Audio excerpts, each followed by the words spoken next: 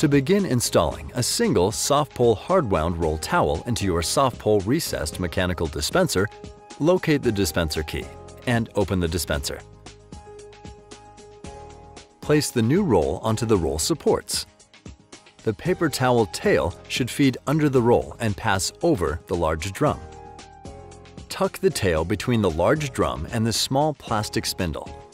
Turn the feed wheel, located on the bottom right side of the dispenser, down towards the ground to thread the towel through the dispenser, and finally tuck the towel through the cover slot as the cover is closed. Test the dispenser to make sure that the towels are dispensed properly. If so, a fresh towel will automatically be dispensed each time.